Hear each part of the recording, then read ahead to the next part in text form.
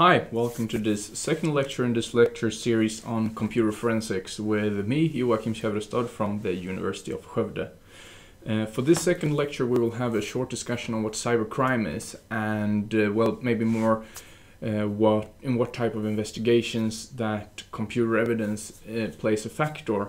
And while this is interesting, uh, this is interesting for the reason that a very common misconception is that a computer forensic expert is someone who's working mainly on cyber crimes. And while I'm not going to go into what cyber cybercrime is and look for a definition of that, I'm going to give you uh, a bit of information on how I view it.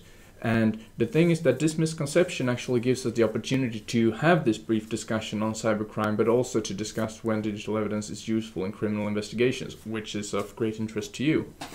Uh, first, uh, I want to tell you that, in my opinion, it's not really interesting for a forensic expert to discuss or to uh, to chase after what constitutes a cybercrime, and that is because computer forensics deals with digital evidence, and uh, digital evidence is something that's present in pretty much any type of crime.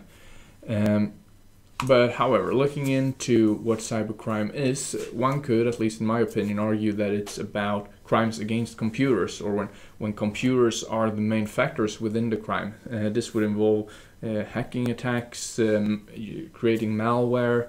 Uh, it would also involve like denial of service attacks, crimes where you are targeting the actual computers.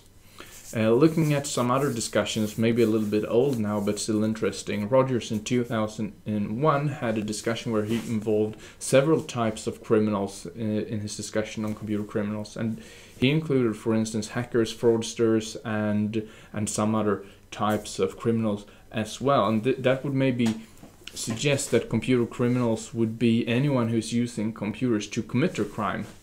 Um, looking at it from a slightly different view, you could discuss uh, crimes in terms of means, motives, and opportunity. Rogers did this in 2000.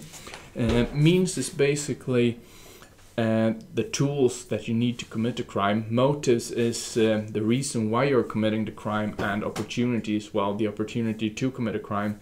So looking at it from, uh, I don't know, maybe uh, the perspective of someone who's who wants to steal a car, maybe the means would be a crowbar, the motives would be well he wants a car or he wants money by reselling the car, and opportunity would be seeing a car that is possible to steal.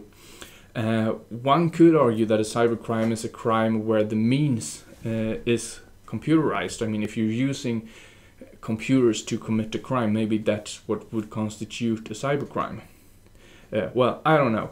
Uh, perhaps uh, a more useful discussion would be to discuss crimes in the terms of cyber crimes and computer aided crimes. And uh, this is basically my opinion, where I think that cyber crimes would involve crimes that are complete, completely cyber, such as well intrusions, denial of service, malware, and so on.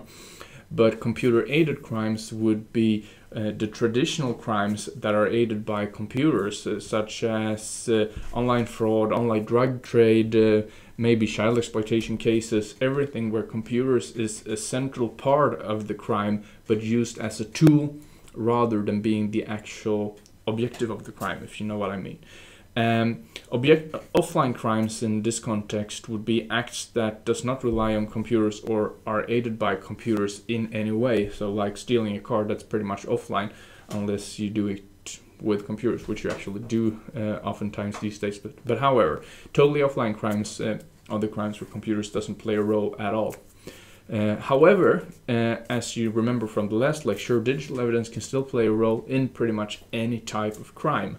Um, and this is uh, this is the running point here because what I want you to understand is that in law enforcement, computers can always or digital evidence can always play a role because I mean even if you do something that's completely offline you, you, you steal a car or you commit burg burglary or something there is still a chance that you use a computer in a second stage. Maybe you go home and you feel a bit bad so you do a web search for for the punishments that are possible for for the crime that you committed. Or maybe you had your cell phone when you committed the burglary and you even placed a call or took a photo, uh, like a selfie, where you was that contained uh, information that could be used to place you at the scene of the crime.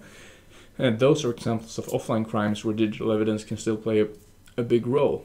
Uh, well, this was actually all for this very brief uh, discussion on cybercrime.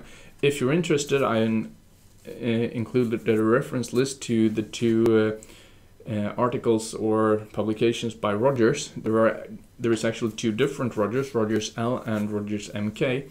And those are very interested if you want to go into what cybercrime is. Um, and uh, well, good learning if you're if you're up to that. Uh, however, with that said, thank you for your attention. And as last time, if you have any questions, post them in the comments field and I will try my best to answer them. Bye.